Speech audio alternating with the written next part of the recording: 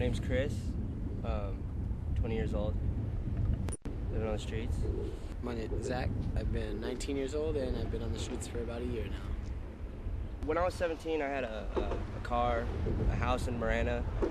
I had all kinds of stuff, and then uh, I was married, have three kids. Um, started doing heroin when my best friend died. I started out with a lot of pills and moved to heroin, and uh, lost my wife. She she cheated on me and left me. Uh, my parents do foster care, so I can't stay with them, so I'm kind of just stuck out here. I mean, I mean, we struggle from day to day. We fight all the time, uh, though, as the group. But somehow we make it. I mean, we don't eat very often, and a lot of people look at us as like scum. You know what I mean? The way we look. I hope that uh, I can maybe reconnect with my wife. You know, see my kids. Uh, maybe have that back. It's kind of lonely without it. But you know, I hope all my friends get out of this situation, and I hope my friend, you know, finds his family. I got it. I went to jail when I was a youth, 17 to about 18. Um, I got out and I lived with my mom. I was going to Empire Beauty School, and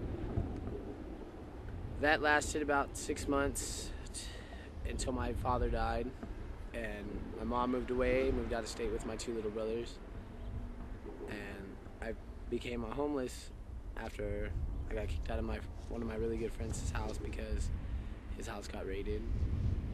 And I've been on the streets for nine months, almost two years, and I've been struggling ever since to find a job, find a new school to go to. I've been addicted to a lot of drugs. Um, I'm actually overcoming those addictions, trying to get my mom and my brothers to finally talk to me, find out where I'm at, instead of looking for me on Facebook. Um, me and Chris, we became really good friends, became best friends since we've been homeless and try to keep each other out of trouble. Try, you know, homelessness it really isn't really isn't that bad, but the way people look at you is different. Um, but I'm not. That doesn't change who I am and who who my friends are and what it, that's about me. And,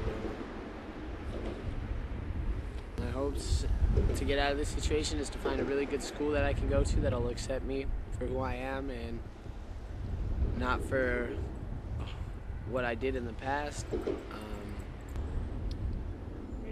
bad decisions and kind of got stuck.